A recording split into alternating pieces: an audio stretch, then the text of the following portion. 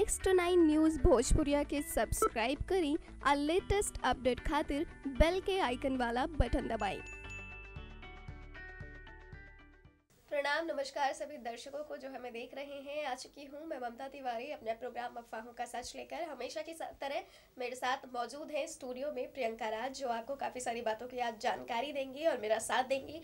तो आज हम जिस मुद्दे पर बात करने वाले हैं, वो ये है कि आप सभी जानते हैं, बीते दिन पहले पवन सिंह का जन्मदिन था, उनके लिए बेहद खास दिन था, लेकिन उस खास दिन में भी पवन सिंह को थोड़ा बहुत दुख ज़रूर पहुँचा होगा, क्योंकि ये हमें उनके फेसबुक वॉल से ही जाने का मौका मिला, जब उन्होंने एक पोस्ट के ज़रिए ये डाला कि जो लोग मुझे गलत समझ रहे हैं या जो लोग ऐसा सोचते हैं कि मैं बीजेपी पार्टी में सिर्फ़ एक ज़रिए के तहत जुड़ा हुआ हूँ तो ये गलत है। मैं पूरी अपने ईमान धर्म से उस पार्टी के साथ जुड़ा हूँ और जुड़ता रहूँगा। तो आपको क्या लगता है कि पवन सिंह को जब ये बात पता चली होगी तो उन्हें बहुत ठेस पहुँची होगी?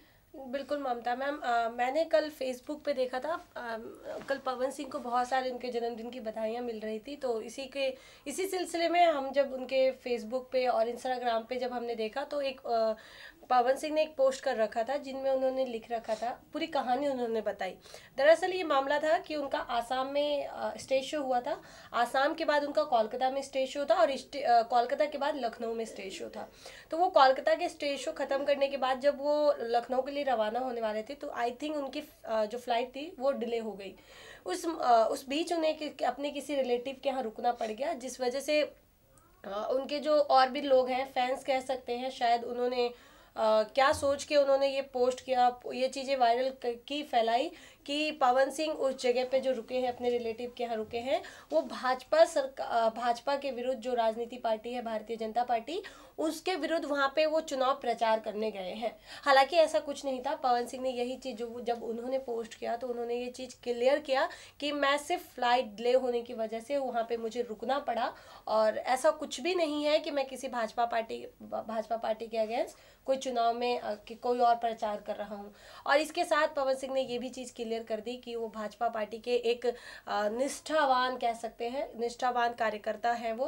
और उन्होंने कहा मैं वो पूरी ईमानदारी से जब तक रहेंगे बीजेपी पार्टी में शामिल होकर के बीजेपी पार्टी की तरफ़ से देश का देखिए ये तो वो बात हो गई कि राजनीति में रिश्ते भी पिस रहे हैं। क्योंकि अब मान लीजिए मेरे मामा हैं वो अगर समाजवादी पार्टी के मान लीजिए ऐसा है नहीं मेरे मामा है वो हम्म। समाजवादी पार्टी के समर्थक हैं कार्यकर्ता हैं और मैं इधर बीजेपी को सपोर्ट करती हूँ मैं बीजेपी की कार्यकारिणी हूँ। तो ऐसा नहीं हो सकता कि अगर वो समाजवादी पार्टी के हैं तो, तो मैं कभी उनके घर नहीं जाऊँ या कभी उनके साथ दिखाई ना दूँ उनसे रिश्ता खत्म कर दूँ ये कोई बात नहीं होती। काम अपनी जगह है आप भलाई कर रहे हैं वो अपनी जगह है लेकिन रिश्ते को बीच में नहीं लाना चाहिए। मान ही लिया कि अगर पवन सिंह लेट हो गए उनके घर रुक गए थोड़ी हम्म। देर तो अगर कोई भी होता तो वो ऐसा करता। फ़्लाइट डिले हो रही है और कुछ नहीं सोच रहा है तो उस वक्त उनका रुकना वहाँ बनता था तो मुझे नहीं लगता और ये नॉर्मल मतलब मुझे कल ये चीज़ कहीं ना कहीं मुझे हर्ट भी हुई मैं हाँ मुझे बहुत बुरा भी लगा कि कल पवन सिंह के लिए बहुत स्पेशल डे था बहुत अच्छा दिन था उनके लिए और उनका सडनली उस तरीके से इतनी सारी खुशियों के बीच एक ऐसा खबर आना या मिलना कहीं ना कहीं पवन सिंह के लिए भी बहुत कह सकते हैं डिस्टर्बेंस वाला माहौल हो गया था थोड़ा ऐसा लगा था बहुत हालाँकि जिसने भी किया वो शायद आई डोंट नो किस मोटिव से किया होगा बस कहीं ना कहीं पवन सिंह को इस बात से हर्ट ज़रूर वो हुए थे ये confirm confirmation hurt Pawan Singh बहुत बार हुए लेकिन उन्होंने हमेशा अपने आप को संभाला है। अब मुझे लगता है वो आदि भी हो चुके होंगे इस बातों के क्योंकि स्टारों के साथ ये दुख और सुख की घड़ी हमेशा जुड़ी रहती है। कभी उनके दर्शक उन्हें काफ़ी ऊपर चढ़ा देते हैं तो वहीं कभी काफ़ी सारी ऐसी बातें सुनने को मिल जाती है जिससे डीमोटिवेट इंसान हो ही जाता है। हम्म। और ये तो सुख दुख तो लगा ही रहता है। दूसरी चीज़ और आगे की बढ़ और रुक करें अगर तो ये देखने को मिला है कि अभी गोविंदा की फ़िल्म जो भोजपुरी फ़िल्म आ रही है उनकी हल्फा मचा के गई इस फ़िल्म का फ़र्स्ट लुक देखने को मिला है। तमाम कंट्रोवर्सियों की बात की गोविंदा इनके साथ काम कर रहे हैं उनके साथ काम कर रहे हैं। सबको ये शक था कि तीनों सुपरस्टार यानी टॉप थ्री लिस्ट में से कोई एक उनके साथ नज़र आएगा लेकिन अफसोस तीनों स्टारों में से कोई भी गोविंदा के साथ काम नहीं कर रहा है। कोई नए एक्टर पदार्पण कर रहे हैं गोविंदा जी के साथ। तो कल इस फ़िल्म का फ़र्स्ट लुक देखने को मिला हल्फा मचा के गैल जिसमें भी फेस नज़र नहीं आया है। लेकिन आपको क्या लगता है कि इस कैप पहने हुए ऐसे स्टाइल में जो खड़े हैं फ़र्स्ट लुक में उसमें कौन होगा उस कैप के पीछे? देखिए खबरें तो बहुत आ रही हैं बहुत कुछ सुनने को मिल रहा है लेकिन आ, मैं आपको बता दूँ जब जिस समय इस फ़िल्म का मुहूर्त हो रहा था उस समय गोविंदा को लेकर के बात क्लियर कर दी गई थी कि गोविंदा इस फ़िल्म में बतौर हीरो नहीं है बल्कि सिर्फ़ उन पे एक फ़िल्म एक गाना शूट किया जाएगा जिसमें जिसमें गोविंदा पार्टिसिपेट करेंगे। आ, लेकिन जो पोस्टर रिलीज़ किया गया है उस उसने इस चीज़ को तो कहीं ना कहीं पहले क्लियर हो चुका था कि ठीक है गोविंदा एक फ़िल्म का एक गाने में अपना किरदार करेंगे।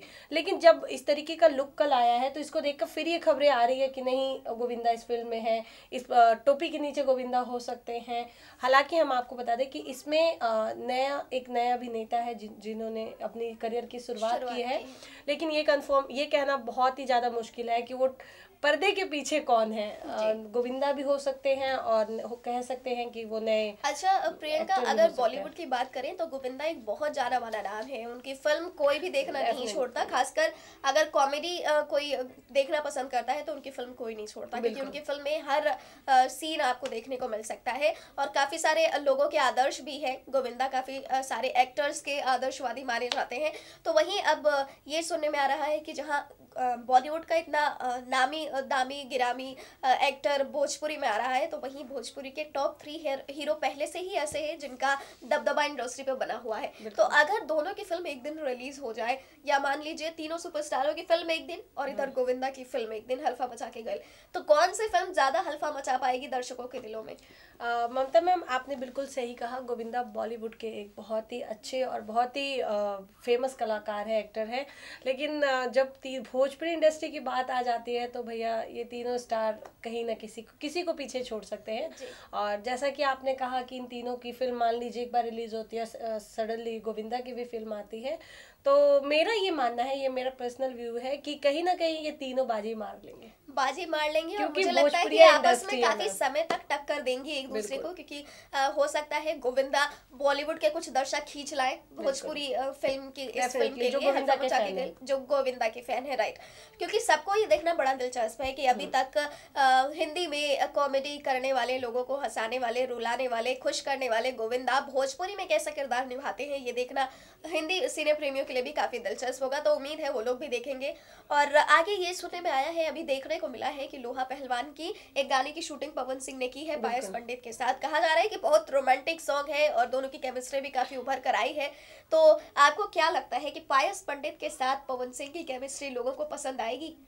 देखिए इनकी फ़िल्में पहले भी आई हैं। और जो इनकी फ़िल्में आई हैं उन्हें देख करके ये अंदाज़ा लगाया जा सकता था कि उनकी फ़िल्मों को अच्छा पायस पंडित और पवन सिंह की ये पहली फ़िल्म है एक साथ। उसके पहले पायस पंडित इसी फ़िल्म से एंट्री कर रही है भोजपुरी इंडस्ट्री में पवन सिंह के साथ। हालाँकि इससे पहले पायस पंडित ने भोजपुरी फ़िल्म में काम नहीं किया है लेकिन हो सकता है आगे आने वाले दिनों में वो और, और फ़िल्मों में नज़र आए दूसरे स्टारों के साथ। लेकिन फ़िलहाल अभी देखना ये है कि पवन सिंह और पायस पंडित की एक साथ की फ़िल्म लोगों को कितनी पसंद आती है क्योंकि काफ़ी समय हो गया है अक्षरा सिंह और पवन सिंह को ही रोमांस करते हुए पर्दे पर देखा जाता है। तो हम्म। पायस पंडित उतना जलवा बिखेर पाएँगे जैसे अक्षरा सिंह बिखेरती आई है अभी तक? हम्म, देखिए मैम जो फ़िल्म लोहा पहलवान का आप बात कर रहे हैं उस उसकी तो खैर चर्चा बहुत पहले से हुई रही है क्योंकि पवन सिंह इसमें पहली बार देसी पहलवान के लुक में नज़र और फ़र्स्ट शेड्यूल की शूटिंग काफ़ी समय पहले, पहले की जा चुकी है जनाब तो आप सोच सकते हैं कि जब फ़र्स्ट से ही अभी तक चर्चा में बनी हुई आई है तो कितना नाम हो चुका होगा? तो यहाँ इसे लेकर ये कहा जा रहा है कि पायस पंडित कहीं ना कहीं गोविंद माफ़ी चाहूँगी। पवन सिंह को ये चीज़ें तो बहुत अच्छी लगी रही है। पवन सिंह को लेकर के फ़िल्म का नाम हो ही रहा है। लेकिन कल जिस तरीके का वीडियो वायरल हुआ है वो रोमांटिक सॉन्ग और रोमांटिक उनके मूवमेंट उसे देखकर ये तो कह सकते हैं कि उनकी जोड़ी बहुत अच्छा, ही वीडियो में पवन सिंह का ही आवाज़ में गाना है या कोई दूसरे सिंगर की आवाज़ माफ़ी चाहेंगे उस वीडियो में इस चीज़ का डिक्लेयर नहीं किया गया है लेकिन आवाज़ हाँ। सुन के थोड़ा पता लग जाता है ना कि अगर थोड़ी तो... चीज़ें सीक्रेट रहे तो ज़्यादा अच्छा। दर्शकों के लिए भी अच्छी होगी और सीक्रेट चीज़ें कहते हैं ना जब आती है तो धमाकेदार एंट्री होकर आती है। तो ये चीज़ें फ़िलहाल सीक्रेट रहने देते हैं लेकिन मैं आपको गाने को लेकर के बता दूँ। पवन सिंह ऑलवेज हमेशा बाय लुक बहुत ही ज़्यादा हैंडसम लग रहे थे। तो वहीं पायस पंडित को देखा गया रेड कलर के ड्रेस में काफ़ी ज़्यादा हॉट लग रही थी और फुल रोमांटिक गाना ये शूट हो रहा था और इसे देख कर ये कहना बहुत इजीली होगा कि इन दोनों की जोड़ी केमिस्ट्री बहुत अच्छी होने वाली है और अब देखने वाली बात ये होगी कि दर्शकों को इनकी जोड़ी पसंद आती अब है देखिए एक तरफ़ है शहनशाह और दूसरी तरफ़ है लाल मिर्ची। तो जब दोनों मिलेंगे तो क्या तड़का लगने वाला है ये देखना तो दिलचस्प होने ही वाला है। इसके साथ ही प्रियंका जी एक बात ये नोटिस करने वाली है कि भोजपुरी फ़िल्म की फ़र्स्ट शेड्यूल की शूटिंग काफ़ी समय पहले हो जाती है लेकिन सेकेंड शेड्यूल की शूटिंग होने में काफ़ी समय लग जाता है तो इस दौरान में जो पहले से फ़िल्में पता लग जाती है ना दर्शकों को उससे माइंड बड़ा डिस्ट्रैक्ट होता है दर्शकों का उन्हें हाँ। गुस्सा भी आ जाता है कई कई बार तो कि पहले ही नाम बता दिया अभी तक फ़िल्म रिलीज़ क्यों नहीं हुई रिलीज़ क्यों नहीं हुई इस तरह के करके और दर्शकों के मन में दस सवाल उठते हैं कि अभी तक ये फ़िल्म रिलीज़ क्यों नहीं हुई कहीं ऐसा तो नहीं कि फ़िल्म कैंसिल ही हो गई हो मैम कहीं ना कहीं दर्शकों का नाराज़ होना भी जायज़ हो जाता है क्योंकि दर्शक काफ़ी समय से अपने सुपरस्टार्स की फ़िल्मों का इंतज़ार करते हैं।